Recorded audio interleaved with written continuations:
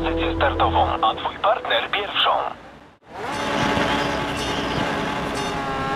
Czeka cię ciężka walka, ale spróbuj dotrzeć na metę przed Evanem Kennedym.